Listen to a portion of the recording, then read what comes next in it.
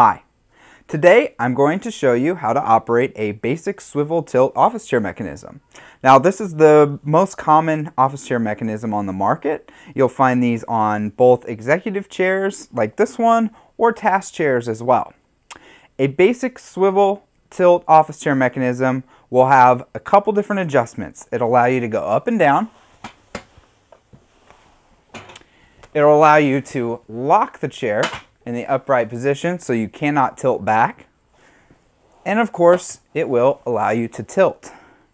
It will, typically will also allow you to adjust that tilt and how much tension it takes to initiate the leaning backwards. Let's get to it.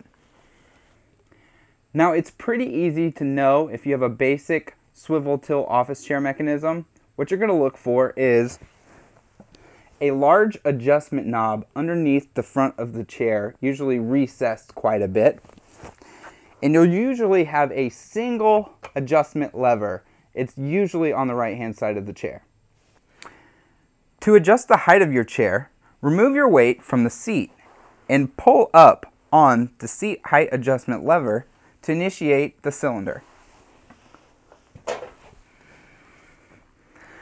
This movement is somewhat of a pull up, but it's also a twisting upwards. So if it's not going for you, make sure you're kind of twisting that lever into its position.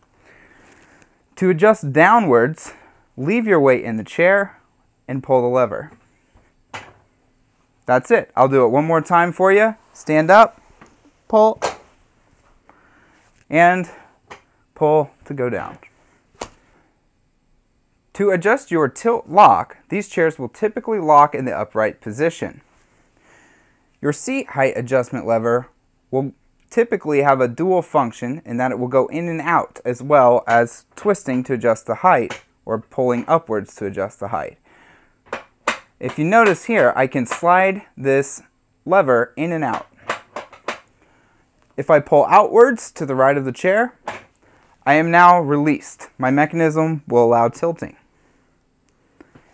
if I press the lever inwards, I'm going to lock the chair in the upright position and it will not tilt. There will always be a little bit of movement in the chair uh, on these, these types of mechanisms. That's just how they work. Uh, but it does keep you from going all the way back. Now there's another adjustment on these chairs that is very important and that's the tilt tension adjustment. When you get a chair, you might be frustrated because you go to lean backwards and it does not lean. You'll check the tilt lock and make sure it's released. It is, but then when I push back, this is not going anywhere. And that's because the tilt tension adjustment is as tight as it will go. Typically, our chairs will ship with the tilt tension at its maximum setting, so that when someone who's unsuspecting sits in the chair, they don't go flying backwards. To adjust the tilt tension, there's a knob underneath the front of the chair. If you flip the chair backwards, there's usually a plus or minus that will show you which way to turn it. But I know currently this chair is in the maximum position. So I'm going to go ahead and start turning it. And these will turn a lot. So go ahead and when you're making an adjustment, turn it many times. And I'm not going to speed up this video. I'm just going to show you. It is going to be a lot of turns. All right, I'm there. This is the loosest it's going to go. Now when I lean back, it is just takes no effort at all to lean back. That tilt tension adjustment is one of the most important adjustments to make sure your chair is operating properly.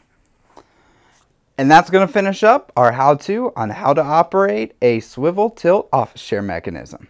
I hope this video helped you.